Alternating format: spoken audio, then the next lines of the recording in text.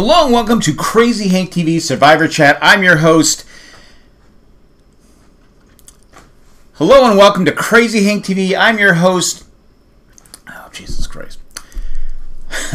Hello and welcome to Crazy Hank TV Survivor Chat. I'm your host, Dan, the Me Too Movement. Look it up.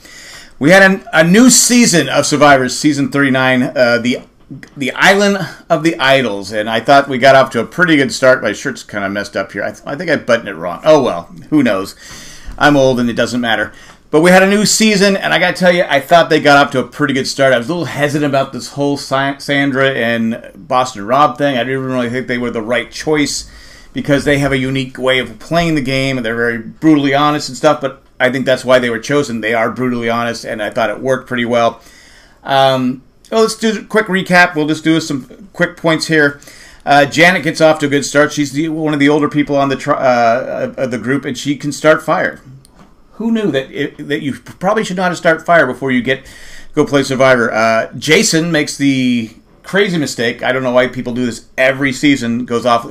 Well, it's it's, it's called the it's called the Island of the Idols. I'm going to go look. There must be tons of idols out here. I'm going to go look for an idol. And so he separates himself from the group, and right away someone was smart enough to call him out on it and say, "Hey, where's Jason? Oh, he must be looking for an idol," which is a I I, I just feel it's a huge mistake. Uh, Dan, I t- talked about the Me Too movement. I, I just I don't understand why people are still touching people. When you know if the, people don't want to be touched, don't touch them. It's it's, it's as simple as that. I'm not here to uh, make pol- politics, but I, I, I just don't get it.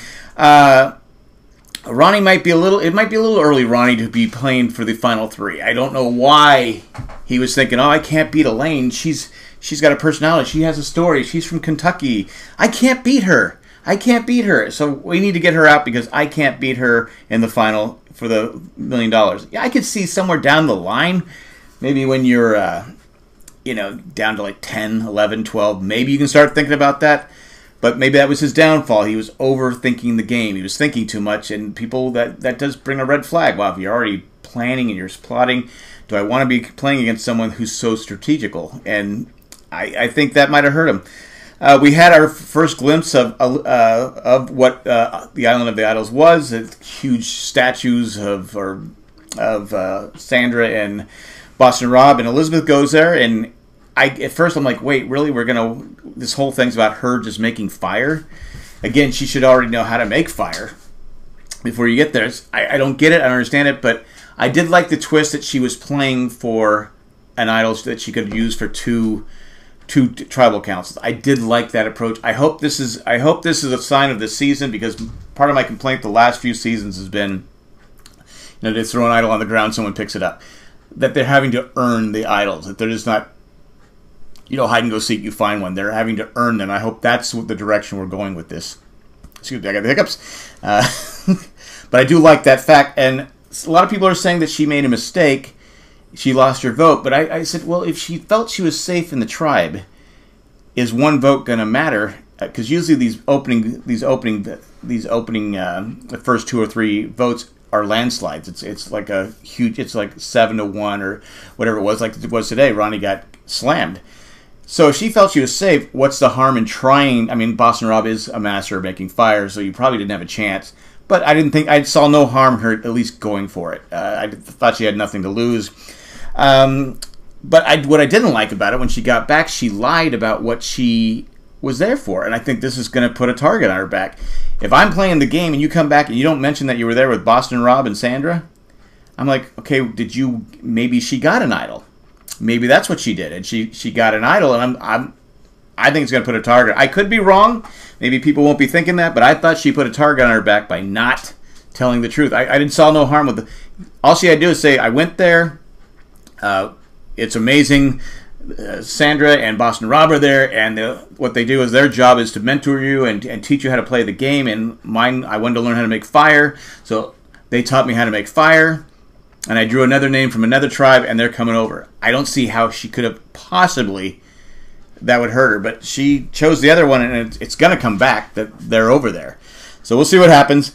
Um, again, I like Boston Rob and Sandra on there. Um, so we go to tribal council. It's going back and forth, and Elaine, who I, you know, I wasn't sure if I'd like her or not. I love her. I think she's great. She's genuine. She's she's fun. She's a fun person to watch. She's good TV. I'm like, great. She's going to be the first one voted off. Really, we're going to lose someone good right away.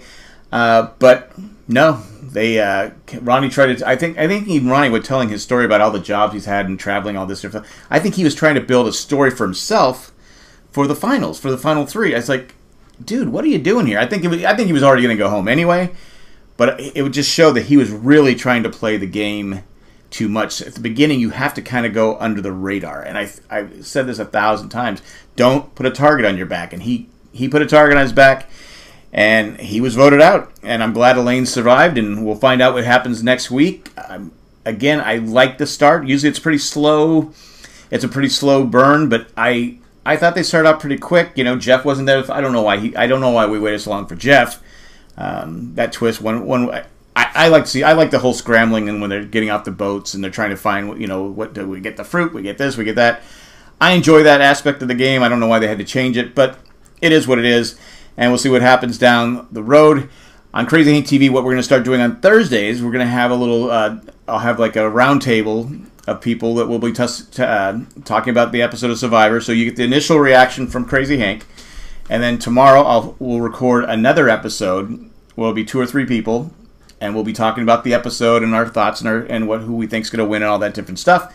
So we're going to try something new. So if you're not a subscriber, click and hit subscribe. If you're a Lost fan, we're doing a Lost rewatch. And it's been a lot of fun, a lot of different guests on the show, and doing that. We're also doing Dancing with the Stars and other things going on. So check out Crazy Hank TV, subscribe today. You'll be glad you did. But again, check out the panel that we'll have. It'll be posted probably sometime tomorrow, 11 Eastern time, because we're doing it late on Thursday night. But uh, thanks for uh, watching. And hit thumbs up. Hit thumbs up. That helps too. And if you don't like it and you want to hit thumbs down, what we're doing, I don't. I, I you know, obviously we want thumbs up, but it, tell us why. Tell us what we did wrong. What you don't like. Maybe you don't like me. I can. I can take it. I'll cry off camera, but I can take it. But anyway, that's all we got. Thanks for listening and watching. Bye, everybody.